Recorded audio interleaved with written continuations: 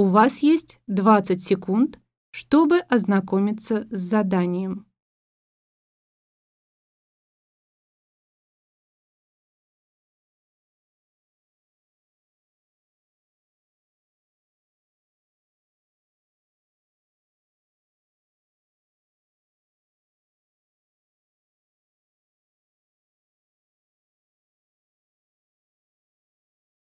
Now we are ready to start. Speaker A. Nowadays, more and more companies show their products on the internet. So if there's anything I need, I can see where to get it and what it will cost without leaving home. I can also compare prices, which helps me to save money. Besides, I can buy the things I need online and they will be delivered to me, which saves me a lot of time. Speaker B. With the help of the internet, I can chat with different people from different countries, learn more and more about our world, different lifestyles, and thinking. The internet offers a place where we can communicate with each other. By exchanging ideas, learning other people's customs and traditions, we get to know people from all over the world and how our life compares to other people's lives in other countries. Speaker C. I work all by myself doing translations. I find contacts on the web by publishing my advertisement on different internet sites. Then I get texts from customers by email and return the completed translation to them. And when doing translations, I use all kinds of online dictionaries. I also get paid through the internet, so it saves me a lot of time. Speaker D. There is a lot of information and things on the internet, but many of them can hurt other people easily. The internet has a risk of receiving spy programs or viruses which can damage your computer. Moreover, you can meet bad people when chatting. According to crime statistics, there have been many people who suffered because of chatting to people they didn't know. Speaker E. I used to chat on the internet because I wanted to improve my English. Then I started to write in forums because I think that there you can get to know very intelligent people and share your interests. From my research, I think the best way to learn English over the internet is to chat online. You can also find some tests on the internet and check your progress. Speaker F. The internet has a wide variety of information, such as data, pictures, graphs, film or book reviews, and such like. For example, instead of going to a library, you can search the internet at home and find information for a report, an essay, or anything you need in no time. Also, the internet has lots of news from all over the world, so it's easy to find out what's going on. So, it is very helpful for people of different age groups. You have 15 seconds to complete the task.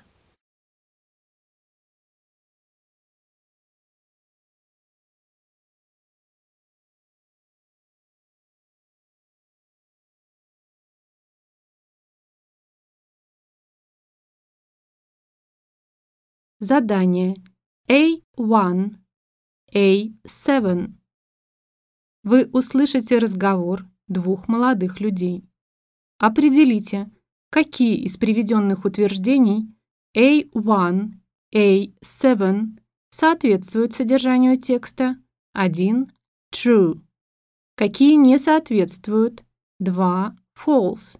И о чем в тексте не сказано, то есть на основании текста Нельзя дать ни положительного, ни отрицательного ответа. 3. Not stated. Обведите номер выбранного вами варианта ответа. Вы услышите запись дважды. У вас есть 20 секунд, чтобы ознакомиться с заданиями.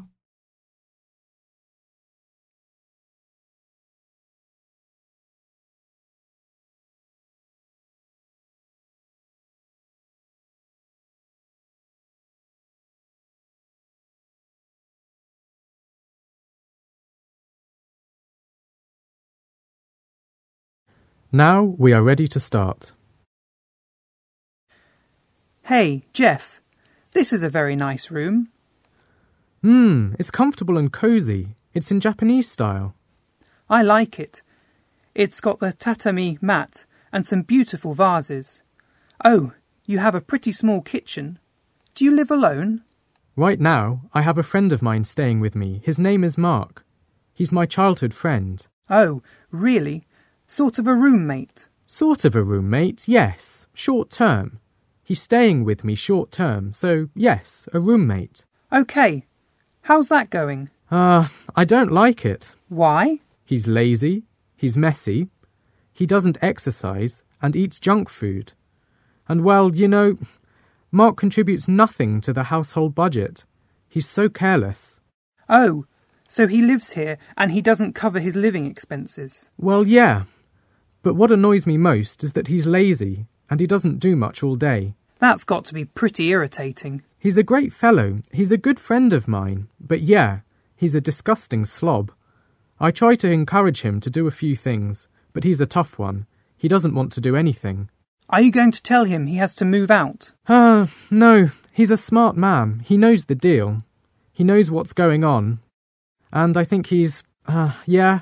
I would never ask him to move out because I don't mind having him here, but I'm just going to try to whip him into shape. Oh, so you're just going to try to change him so he becomes a better roommate? I'm going to try to, yeah, try to get him a better schedule, a better schedule. Yeah, like exercise and eating right and smoking less and watching TV less. Well, what is his schedule? Uh, his schedule is he's like a night owl. When he goes to bed, I go to work. He stays up most of the night watching TV, and then he sleeps most of the day recovering.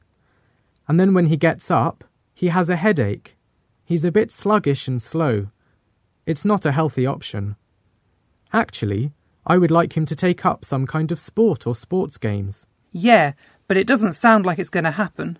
Good luck. Thanks. I'll probably need it.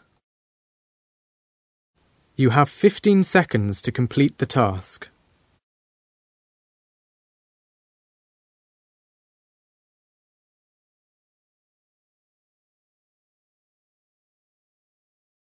Задание A8, A14. Вы услышите интервью. В заданиях A8, A14 обведите цифру 1, 2 или 3, соответствующую выбранному вами варианту ответа. Вы услышите запись дважды. У вас есть 50 секунд, чтобы ознакомиться с заданиями.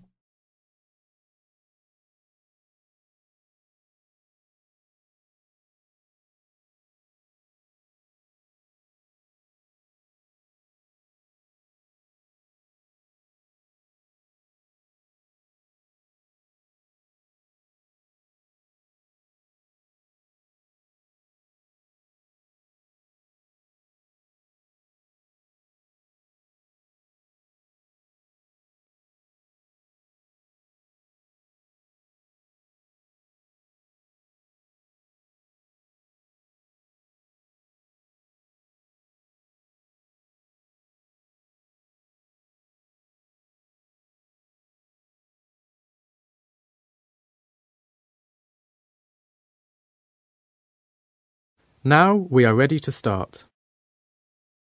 Here we are then from Radio 1, and in a corridor with Spin, a pop star. Hello. Spin, is this your name then? No, it's not. It's just that most people think that Crispin is too embarrassing to call me. They call me Spin because it's the only kind of cool abbreviation that you can make from a terrible name like Crispin. Fine. It's not my fault, you know. It's my parents'. From a very early age, when they called me it, I would cry for months in my cot, and they didn't know why, because I couldn't explain that it was because they'd named me Crispin. But then I got it out of my system. It could have been worse. I could have been called Darrell. Where did you study? Yeah, my parents said over and over again that university could improve my chances of career development. So I went to Sheffield. I did philosophy and theology, but I dropped out after two years. I took a year off to get into pop music, and I always thought I might go back, but I'd never enjoyed school, and I used to get into a real panic before the exams. In fact, even now I feel nervous about all this stuff, and the idea of going back never happened. No, I don't really like universities as places, to be honest. They give me the creeps. What were you like then, when you first went to college? You know, I was 18 and I was into this kind of communist thing. And I thought I was a real communist, but it never occurred to me to join the Communist Party. We got a house of our own, and we were the only people in the whole of Sheffield University to have a house of our own, so it became like a commune, and we were like members of some secret society. In fact, our secret life was rather innocent. You know, everyone would come around and there'd be 20 or 30 people there having parties. Have you learned much in this last year? Because, you know, you've just grown, and people's respect for you has grown so much in the last year. We were pretty much ignored last year, and then it started changing for our people all of a sudden this year. I think it's because everyone's kind of revived themselves. We brought back to life some forgotten ideas and we also got interested in folk music. I think we're doing something new now. Our work is really creative and rewarding. This is the greatest satisfaction of my life. I've met many people, some of whom have been an inspiration to me. That really is Hollywood. It turns into a film. It's just like a fantasy world. Have you written any new songs then? Is there an album coming out? There is. I've got a kind of library of ideas, but the problem is that I have to be on my own. It's like, you know, when you're a little kid and you're playing in the corner of the living room with your cars or whatever. You're in the middle of this fantasy, and the moment you notice your mum saying, Ah, how sweet, and looking at you, the magic charm disappears instantly. But I've increased this library, and I'm going to leave in December. I'm going to rent a cottage in the middle of nowhere and work really hard. You're one of the few pop stars that we never hear talking about cars or your bank account. What do you do with your money? Better yet, what's the first expensive thing you bought? The first expensive thing that I bought was a house. What was it like owning your first home? At the time I bought it, I had no idea how famous I really was. It was across the street from a school, and we had kids coming across all day knocking on the door. It was crazy. The house was on a main road. It was a busy road full of cars, but that didn't bother me. The problem was the people around. Sometimes, when I went out, I had to cover up most of my face. So we put an end to all these problems, sold the house, lost a part of money, and bought a new house. That's probably the best investment I've made, my new house. It all sounds as though you don't like your fame and your fans. Why? Music fans are among the most reasonable groups of people in the whole world. Sounds great. Do you mean that fans going wild at the concerts are perfectly reasonable? You know, I don't like people to go wild, but I'm sure that keeping feelings of irritation and annoyance bottled up is a really bad idea.